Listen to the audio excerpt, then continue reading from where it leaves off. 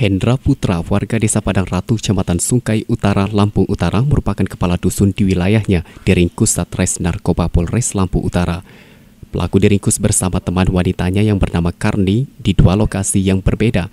Dari tangan keduanya, petugas menyita 8 paket narkoba jenis sabu-sabu siap edar dengan berat 1,21 gram, 3 plastik klip, serta satu buah dompet.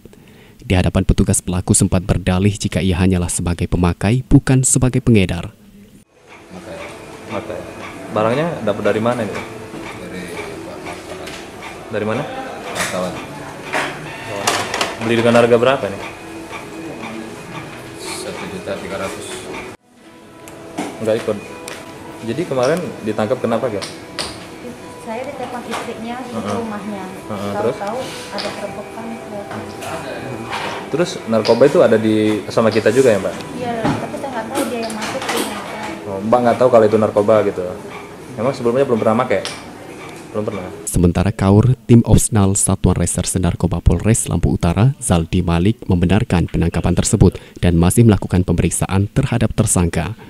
kita masih melakukan pemeriksaan tapi yang jelas eh, di kita dapatkan barang bukti itu 8 paket sabu Untuk mempertanggungjawabkan perbuatannya, pelaku dijerat dengan pasal 112 dan 114 tentang narkotika dengan ancaman hukuman minimal 4 tahun kurungan penjara. Dari Lampung Utara, Sastra Sudadi melaporkan.